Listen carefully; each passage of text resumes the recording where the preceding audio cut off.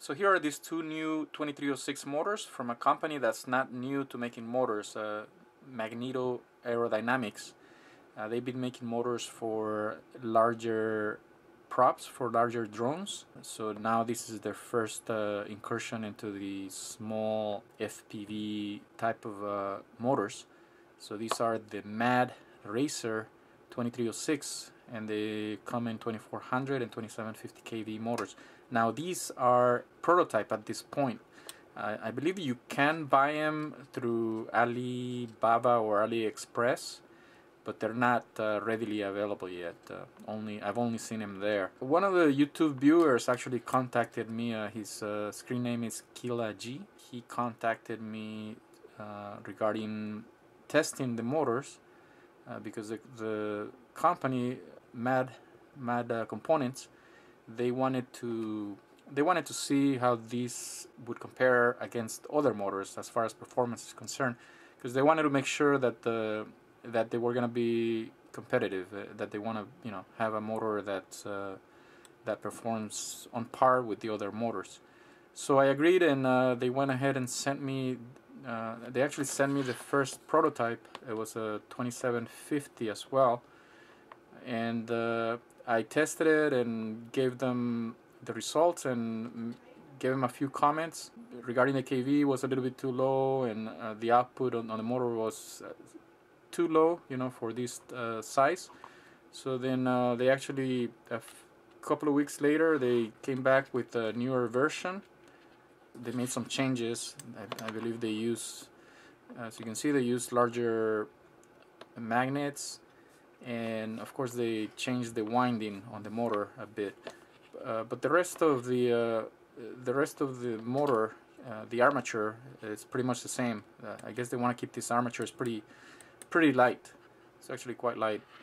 So uh, as I said these are in prototype stage so they may still do some changes uh, for the final version. So they've incorporated a lot of the typical features for the latest motors uh, as far as uh, uh, the construction on the motor. As you can see, they they went with the now popular bottom naked bottom retaining screw for the shaft, for the motor shaft, a light uh, armature to keep the weight down, and a single piece shaft and this one is uh, completely hollow. It's hollow all the way through from what what uh, I understand. And what they told me is that uh, when you hollow the shaft all the way through and you don't leave any solid uh, portion that help uh, helps relieve the stresses. So it doesn't make it as easier to to shear off the shaft uh, when you when you crash. So when you apply a force right there it's gonna be less likely to shear off at, the, at the weakest point.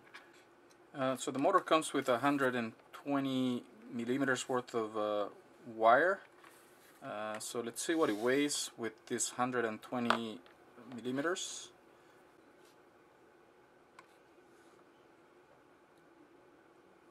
Thirty-two point one grams. So that's with 100, 120 millimeters worth of wire. So if we cut them to around 50, we will get rid of this much wire about 2.5 grams.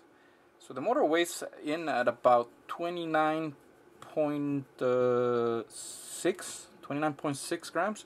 So pretty light. That's a quite a light motor. That's the 2750 I imagine the the 2400 might weigh a little bit more because it's gonna have uh, more copper uh, lower kV so let's see 32.3 versus 32.1 so 0.2 difference. So about 29.6 29.7 that's that's a pretty light motor pretty pretty good weight. Okay so let's crack this open so we can take a closer look. Uh, it's pretty easy to remove this screw. They're using a one of those good Allen screws the ones that uh, don't strip out that easily uh, as long as you have a, a good Allen key. So, as you can see there, looks like they went with a 3 millimeter shaft. Uh, from what they said is that they believe that uh, with the the hardening treatment that they they're gonna give the shaft they feel that three millimeter should be enough and I think what they're saying is they want to optimize the um, the amount of copper on the on the stator. So that's something uh, you know that's something to test uh, once uh, once you start crashing all that and you know we'll see how the shaft uh, how the shaft survives uh, the material they selected. Hopefully that's the case. Hopefully it's quite strong and there's no issues with the shaft. Uh, alright so let's uh, look at it on the, magnifying glass. Okay so here's the stator. So you can see the pretty pretty neat windings a single strand wire. And the uh, those are I believe uh, 3 by 8 by 3 bearings. Uh, stator laminations are uh, look like they're 0.2 millimeters and this stator seems to be it is 6 millimeter uh, nominal. Uh, beefy base uh, that's pretty good. Should not be an issue with this base. The only uh, the only thing that people are gonna have to be careful with is when threading the mounting mounting screws just make sure uh, you don't go past the base there's gonna be plenty of thread there but you just gotta make sure the screws are not too long that you're gonna go past and then damage the the windings. So that's the only thing because it's it's pretty close but that's you know the user has to be careful about that. Uh, there's nothing wrong with the design I don't think. Uh, here's the bell. Magnets look uh, pretty good uh, looks like uh, plenty of uh, adhesive there around and uh, yeah they are curved magnets and pretty pretty good density. There's not a lot of gap in between magnets. And as far as the uh, the air gap uh, let's look at it. The air gap looks looks pretty good.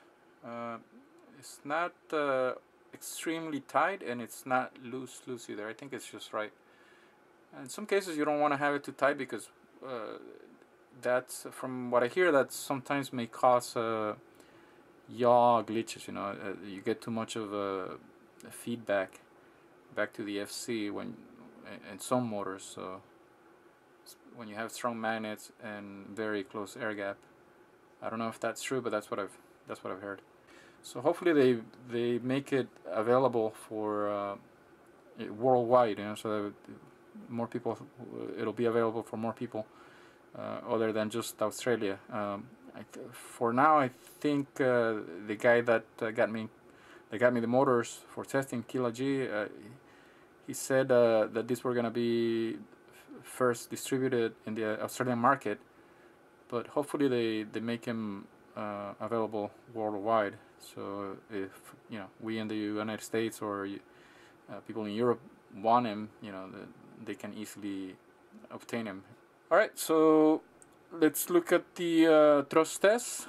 Keep in mind these are prototypes. I'm just showing them off right here. This is these are not the final version, so I think they they may still tweak them a little bit. Uh, but uh, they said it was okay to show the, um, the, the, thrust results at this point, just to you know just to pique interest into these motors. Uh, so you know we'll put them to the thrust stand and I'll show you guys what how these did. Uh, and then we'll look at the results on the thrust table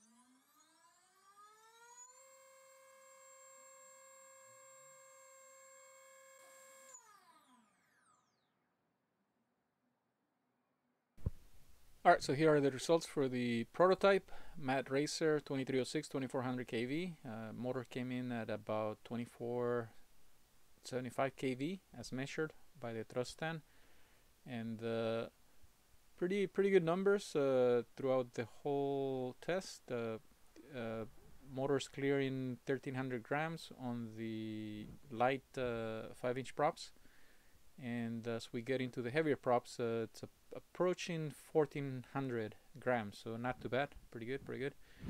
And uh, on the 6 inch props it's uh, easily clearing 1600 uh, grams. Amps uh, seem to be okay uh, for this KV at 4S uh, also went ahead and tested on 5S with the 5040 3x3 HQ prop and 1700 grams at uh, pretty pretty reasonable amps. So again, remember these are static thrust amps. Uh, in the air, these are gonna be much lower, uh, up to 30% lower. So, so as I always say, you know, don't don't get so surprised at, uh, by seeing these really high amps. Uh, this is only on the thrust stand. On the air, you you won't see these high amps. Uh. So the 2750 kV motor came in at about 2810 kV 2810 kV so so not that bad it's just uh, slightly over.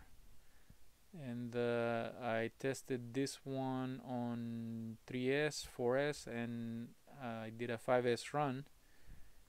Uh, which uh, I usually don't run 5s on these high kV motors because the amps are gonna be just way too high and I don't wanna I don't wanna burn my my ESC or thrust stand or the motor for that matter.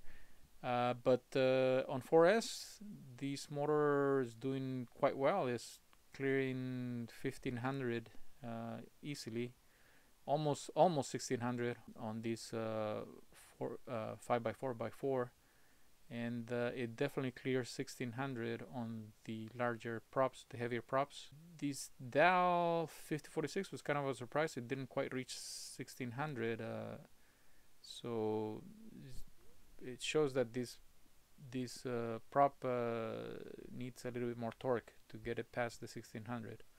But uh, on the other props, it did this motor did pretty well. Uh, I mean that's that's almost 1600. Uh, remember, this is these are prototype motors, so uh, these results might change in the final version. They're, they're still they're still ref- refining the motors on six inch. 1800 uh, uh, grams, quite a lot of thrust. Uh, the amps are also a little bit high. On 3S, I don't know if anybody runs would run this 3S, but here are the numbers. And as I said, I ran it on 5S, 1900 at 60 amps, really high amps. I know some people that do run these high kV motors on 5S, but then again, you're, you're not gonna get these these high amps. In the air, it's gonna be much lower. And uh, as you saw in the video, there was a little bit of smoke uh, coming out. Uh, that's because the the amps are so high, and uh, I actually made the run too long, as you saw in the video. So I was going slowly on the on the throttle because I I was also checking at the same time I wanted to check the the amps to make sure that they weren't so high but what that did is that uh, it allowed the motor to get excessively hot. So it, I guess they burned a little bit of the enamel but it didn't get damaged at all. But I ran other tests after that. I've had that happen in other motors and that's pretty typical of uh, this high kV motor running at on 5S is not just on this motor so that would happen on, on any motor of that high kV so that's why I usually don't run 5S for the, those high kV motors. I've been trying to run 5S lately but up to 2500 kV